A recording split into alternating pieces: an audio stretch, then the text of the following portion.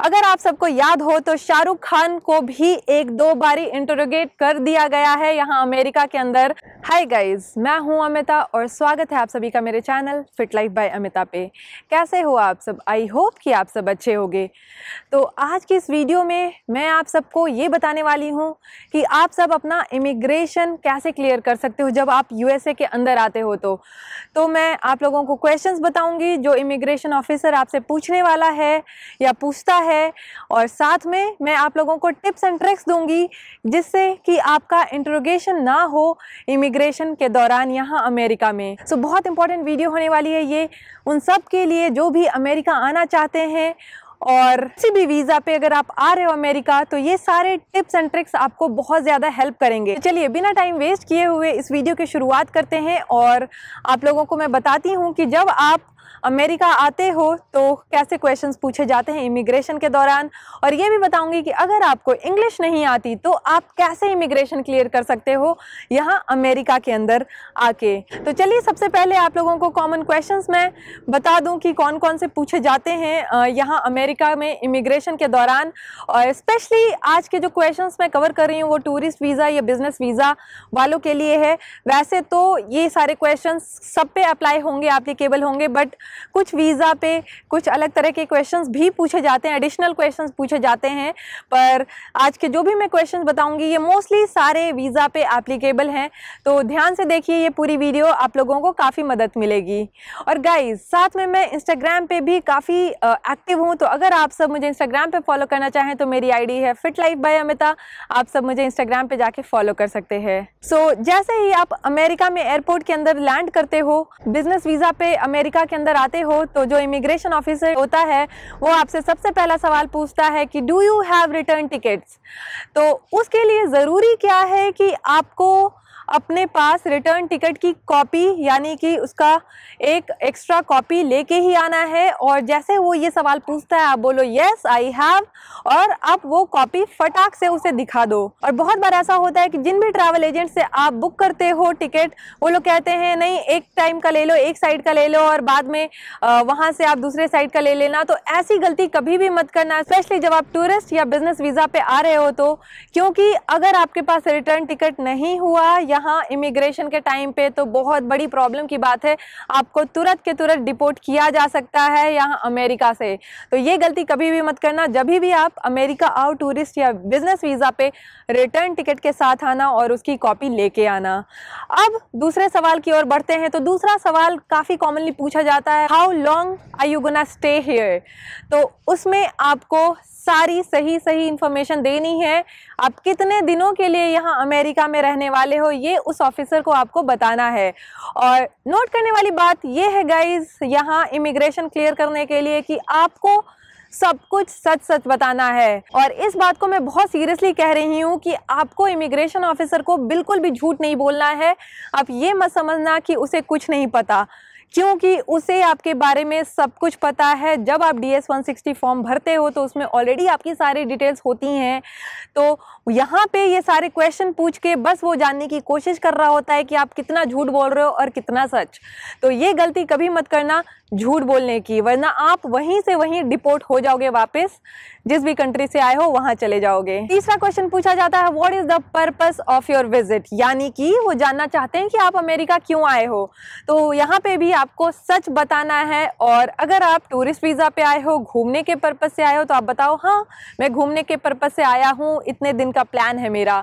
या अगर आप बिज़नेस वीज़ा पे आए हो, आपको किसी कंपनी ने बुलाया हो तो आप उसके बारे में बताओ। तो जो भी है, सच बताओ। अगर आप किसी मेडिकल पर्पज़ से आए हो यहाँ तो आप वो बताओ कि हाँ मैं यहाँ मेडिकल पर्पज़ से इतने दिनों के लिए आया हूँ और इतने दिनों के लिए स्टे करने वाला हूँ। चौथा क्वेश्चन पूछा जा सकता है कि व्हाट इज़ योर ऑक्यूपेशन वो ये जानना चाहते हैं कि आप क्या करते हो अपने लिविंग के लिए, यानी कि आप कौन सी जॉब करते हो? तो अगेन आप वो डी एस फॉर्म में भरते ही हो कि हाँ आपकी जो नौकरी होती है या जो भी बिज़नेस वगैरह होता है, आप भरते हो उसके बारे में। जो भी आपने D S one sixty form में भरा है, आपको सेम आंसर यहाँ इमिग्रेशन ऑफिसर को देना है और बताना है कि हाँ मैं ये करता हूँ, ये ये मेरा बिज़नेस है, ये मेरी जॉब है। अगला क्वेश्चन ये हो सकता है, वो पूछ सकते हैं do you have any relative here तो वो अगेन जानना चाहते हैं कि क्या आपका ये जो ट्रैवल है, किसी रिलेटिव ने स्पॉन्सर किया है, खुद से आए हो, कैसे आए हो? आपके बारे में बेसिकली जानकारी लेना चाहते हैं। तो अगेन अगर आपने डिक्लेयर किया है डी एस फॉर्म में कि मेरे कोई रिलेटिव हैं अमेरिका में तो आप वही बताओ, कोई प्रॉब्लम नहीं है। पर हाँ सच बताओ, पर अगर आपने वहाँ मेंशन नहीं किया है अपने रिलेटिव के बारे में तो कोशिश करें कि उसे ना बोले वहाँ पे। बस बोले, नहीं है। जो भी आपने डी एस फॉर्म में जानकारी दी है इन्फॉर्मेशन डाला है, वही आपको यहाँ इमिग्रेशन ऑफिसर को बताना होगा। उसके बाद अगला सवाल हो सकता है what are the things are you carrying so basically वो ये जानना चाहते हैं कि आप कुछ इलीगल सामान तो नहीं ला रहे हैं अपने बैग के अंदर दूसरी कंट्री से या फिर आप अनकुक्ड आइटम्स तो नहीं ला रहे हो आ, या फ्रूट्स वेजिटेबल्स जो रॉ होते हैं कच्चे होते हैं वो लाना अलाउड नहीं है। तो आप कोशिश करें कि ये सब चीज़ें अवॉइड करें ना ही लाएँ। अवॉइड नहीं ना ही लेके आएँ क्योंकि यहाँ आपका बैग भी खुल सकता है और वो चेक भी कर सकते हैं कि आपके बैग के अंदर क्या है। सो so, ऐसी कुछ भी चीज़ें ना लाएँ जो कि अलाउड नहीं है। अगला एक बहुत ही इंपॉर्टेंट क्वेश्चन है जो कि मोस्टली पूछा जाता है। वो ये है कि do you have any plan to work here so अगर आप टूरिस्ट या बिज़नेस वीज़ा पे यहाँ आ रहे हो और अगर ये सवाल आपसे पूछा जाता है तो इसका मतलब ये है कि वो देखना चाहते हैं कि क्या आपके प्लान्स हैं अमेरिका में रह के जॉब करने के, काम करने का? तो इसमें आपको क्लियरली कहना है नो मैं घूमने के पर्पज़ से आया हूँ, या जो भी आपका पर्पज़ है, आप वो बताएँ। आप ये ना बताएँ कि मैं यहाँ आके जॉब करने वाला हूँ। या मैं कुछ बिज़नेस करने वाला हूँ, वो ना करें, ऐसी गलती मत करना, क्योंकि ये बहुत इंपॉर्टेंट क्वेश्चन है। वो जानना चाहते हैं कि आप अमेरिका के अंदर आके बसने की कोशिश तो नहीं कर रहे हैं तो क्लियरली आप कहना नहीं, मैं ऐसा कुछ नहीं करने वाला हूँ। अगला क्वेश्चन ये हो सकता है कि वो पूछे where will you stay so वो ये जानना चाहते हैं कि जितने भी दिन के लिए आप अमेरिका में आए हो, आपके पास होटल्स की बुकिंग है, अगर आप टूरिस्ट वीज़ा पे आए हो तो या फिर आपके कोई रिलेटिव्स हैं।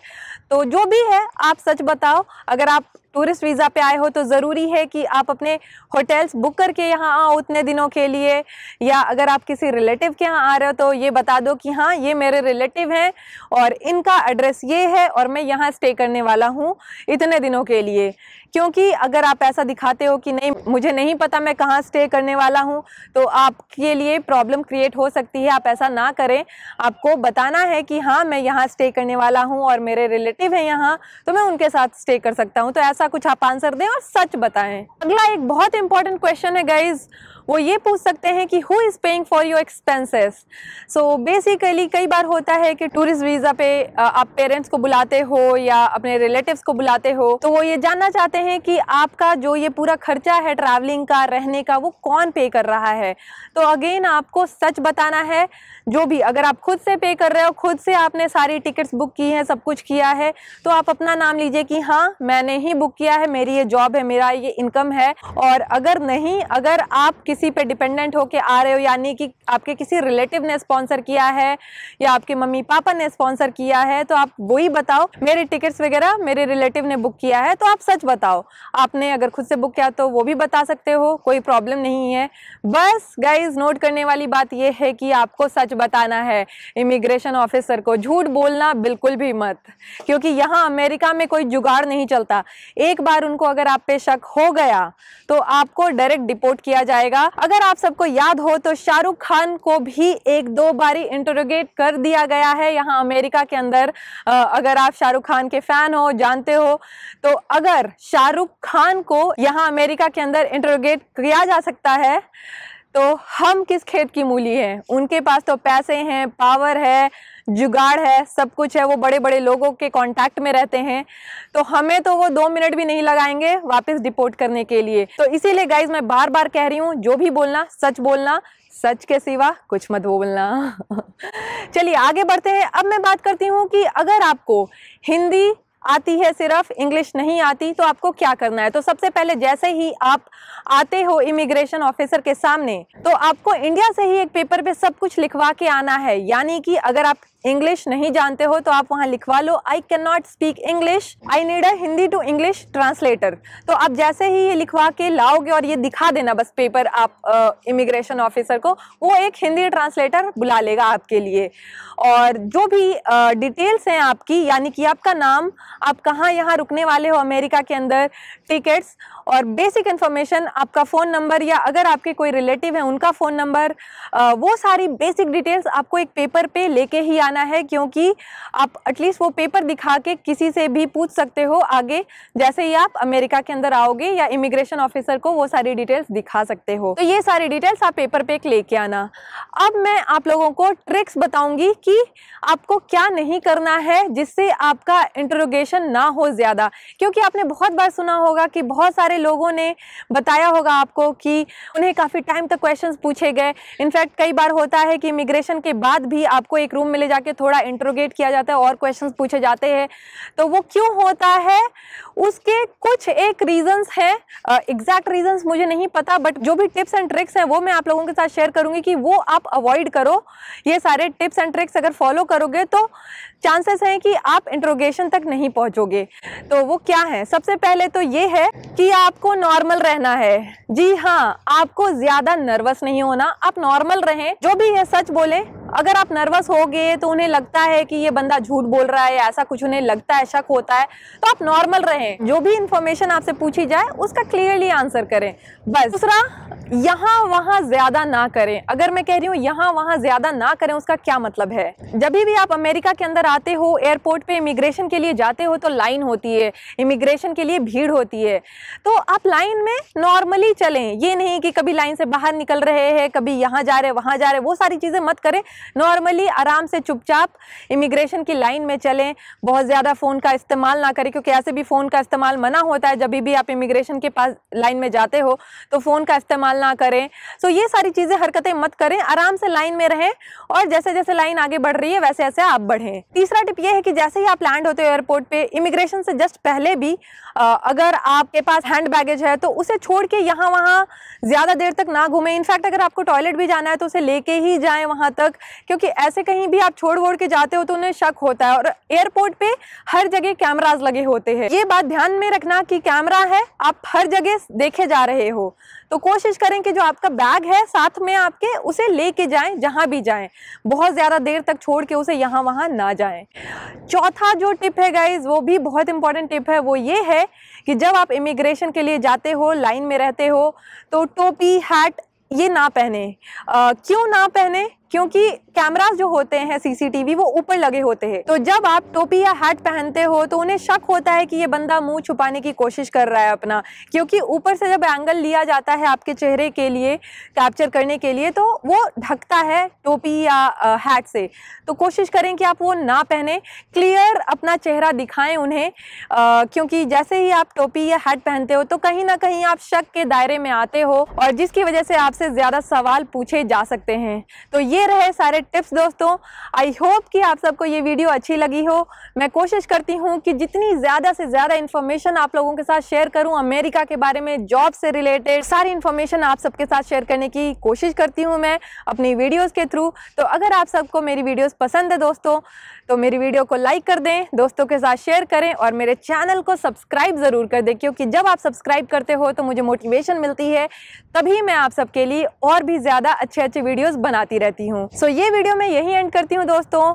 मिलती हूँ आप सबसे अगले वीडियो में। Stay happy stay fit bye